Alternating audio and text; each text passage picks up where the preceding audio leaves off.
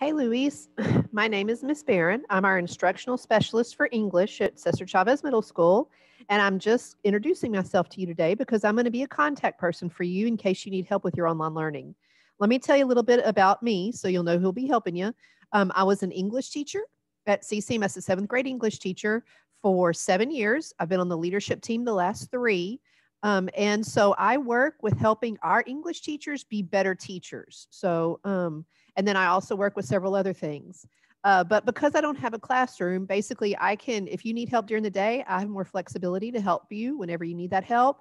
And because I'm part of our leadership team, I can work with you on English, math, science, social studies. I can get in touch with all your teachers. Basically, I just have more connections than the teacher in your classroom who's focusing on several kids in one subject. So I'm a little more available. In the email I sent your mom, you've got my email. You're welcome to email me. You've got my cell phone number. You're welcome to text me. I would ask that you text me instead of call because that way I have a written record of our conversation. That's just something we have to do as teachers. Um, but your mom's welcome to call. If you want to get your mom to call, she can. And I'm available anytime.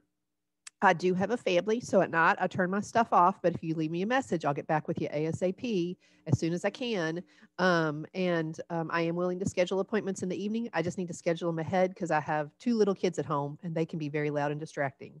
So um, just wanted to say hello. And I know you did really well those first two six weeks. So I want to help you manage, figure out how to manage this online learning thing so you can stay safe and keep your grades up. So let me know if you need help and I will hopefully talk to you soon.